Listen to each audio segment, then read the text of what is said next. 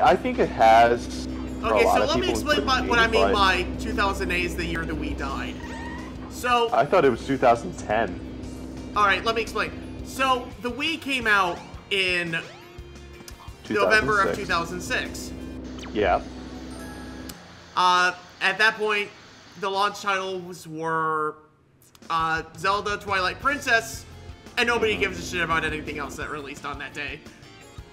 But, yeah, they did. I mean, Wii Sports sold a lot of fucking units. Well, it's a pack-in, so it doesn't count. Well, uh, No, no, I mean, it, it was the a so in and of itself. Hi. Okay, well, given credit to Nintendo, I mean, it, I understand motion control was something new, but I mean, with the Wii, it was a success. And I understand that since Wii Sports came with, you know, like you said, Miles, it was packaged. But given that, it, I mean, seeing how many units the Nintendo Wii has sold, it was really amazing. Because I, I swear, I thought the Wii was going to flop on the first week.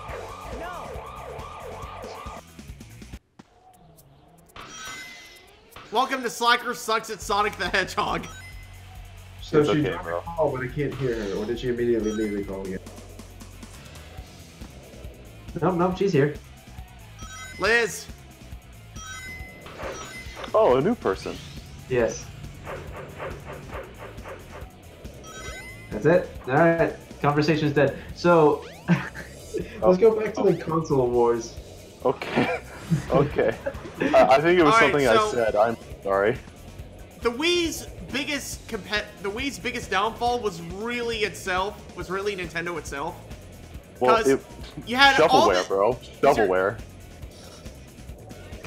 Wait, what, what the hell am I doing?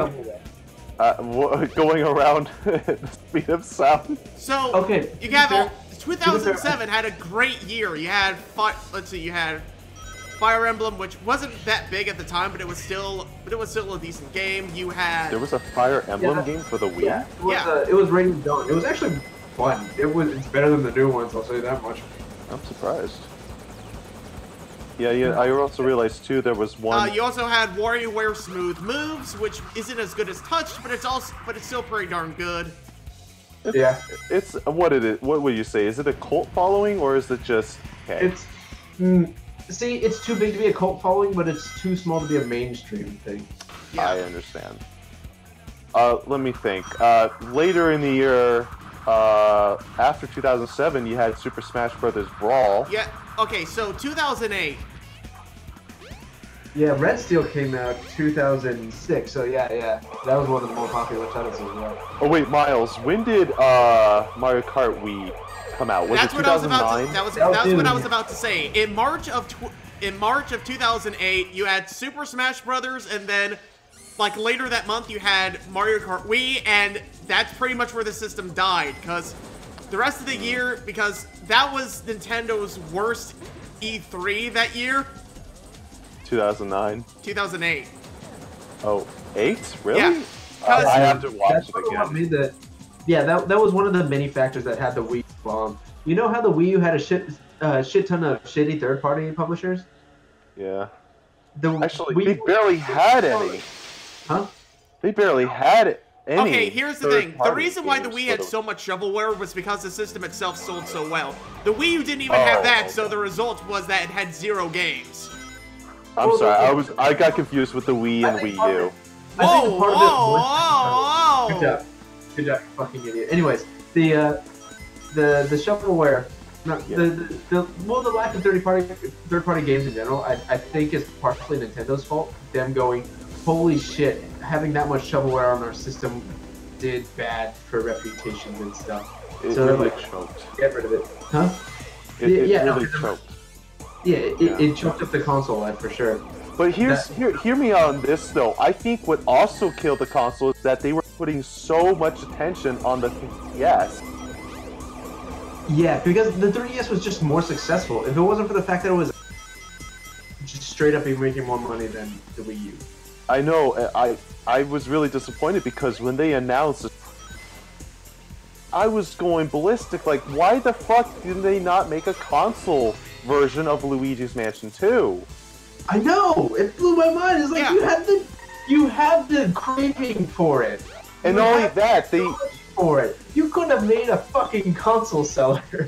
I, I understand that they made Ocarina of Time remake for the GameCube, and Right, they did the same for 3DS. No, So that I mean, it would have been, as much as the original. Yeah, though. not bad. uh, yeah.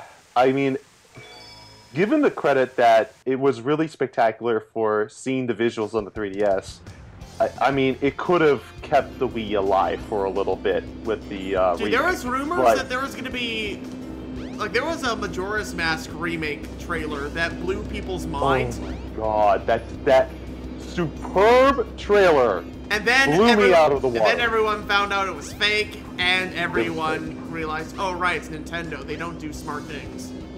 Yeah. I I was very disappointed too. She should still be in this city. It almost seemed like it could have been a movie. Oh yeah. And then the Switch came out, and then they fixed fucking everything. Like, without exaggeration, they fixed everything. I I give credit to the new CEO. man. Like, Almost, he- almost everything. almost. But here's the thing. I mean, it, it's really amazing how when they released the games, it came exactly on the day. Right? No, it had an amazing launch launch lineup, and like even, uh, like two years after its initial release, Yep. it's still pumping out great games. Fucking the new Kirby, uh, the demo dropped, uh, either today or yesterday. Yeah, Yeah, I played it. yeah. The new fantastic. Kirby, Kirby Star Allies is actually pretty friggin' great. I've heard about that, and I, I think it's amazing that they are. Uh, I'm actually, you know what? I'm, I'm for the new fucking title. ecstatic that they brought back that mechanic that lets you mix powers together. Mm-hmm. Yeah, Yeah. Because that was one of my Yeah, that's- favorite things about Kirby 64. Yeah, I was about to say that's not a new concept, but that was something that was sorely lacking in older games. Or in, yeah, in some of the older games. You better give Amy to me or I'll squash ya. um, Still, Kirby Canvas Curse. That one, that game was so unique to me. I will that, for me, it's not necessarily my favorite game or even necessarily a good game, but it was just it was fun and unique and different. what's happening? And I will never see anything like it again. Hey Liz, you finally get a mic?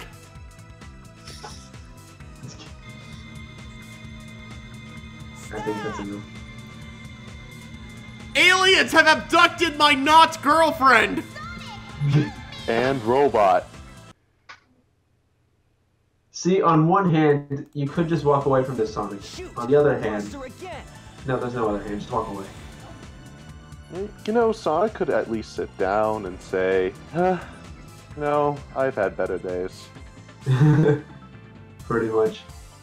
It's like, you know, I was all alone on my first game, and then this yellow freak came by, and Dread, no, and then this weird fanboy came guy around and was in. like, hey, Yeah. hey, hey man, can I be a sidekick? And he's like, oh well, what's the worst that can happen? And then I found out that he's fucking immortal. Yep, Yeah.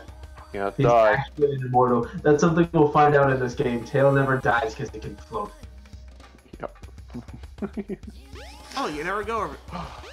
Because like you basically, uh, correct me if I'm wrong, but you basically play some of the stages that This Sonic is the plays, ancient like verbatim. except you can toward float. enemy. Yeah, Yep. And can you now do a race Sonic. Attack. Yeah. Uh, but my favorite thing is that in this game, Sonic is that, despite how sassy Sonic is, he's a good sport about If only that monkey. uh, racing wasn't there. tails. Like when you catch up to Sonic, he's like, "You made it!"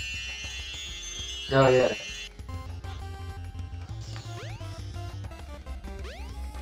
No, it's like it's weird. They they've been trying to figure out the formula for months or for years since basically since Sonic started talking about how to make him sassy without making him an asshole.